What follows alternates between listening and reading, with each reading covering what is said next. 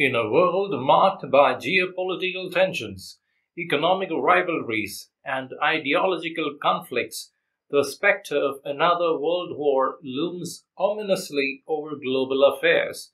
The devastating impact of past global conflicts underscores the urgent need for international cooperation to prevent the outbreak of World War III. In this video, we will explore the critical importance of diplomacy dialogue and collaboration among nations in maintaining peace and stability on a global scale.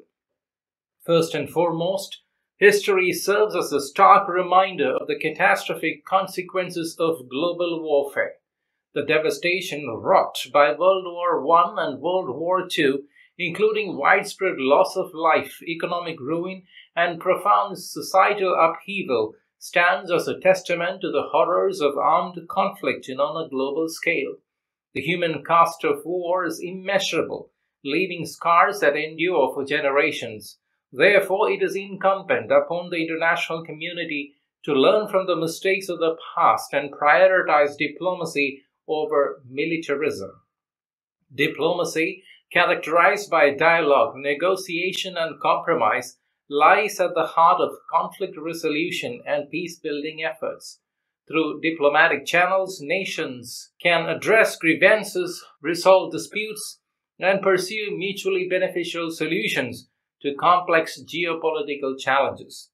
Diplomacy fosters understanding, builds trust, and promotes cooperation among nations, laying the foundation for a more stable and secure world order. Furthermore, multilateral institutions and frameworks play a crucial role in facilitating international cooperation and conflict management. Organizations such as the United Nations, NATO, and the European Union provide platforms for dialogue, collective decision making, and conflict mediation on a global scale.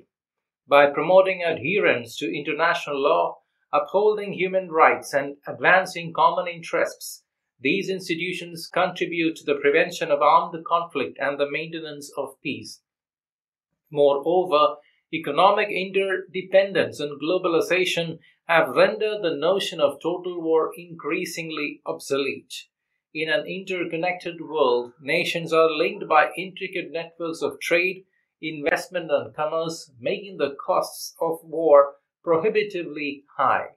The pursuit of economic prosperity and stability incentivizes nations to resolve disputes peacefully and pursue cooperative solutions to shared challenges. Therefore, fostering economic cooperation and integration can serve as a powerful deterrent against the outbreak of World War III.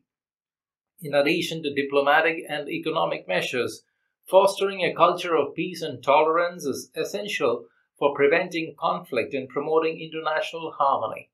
Education, dialogue, and cultural exchange programs can bridge divides, promote understanding, and cultivate empathy among peoples of diverse backgrounds by promoting respect for diversity, human rights, and the rule of law so that societies can mitigate the risk of conflict and build a more inclusive and peaceful world.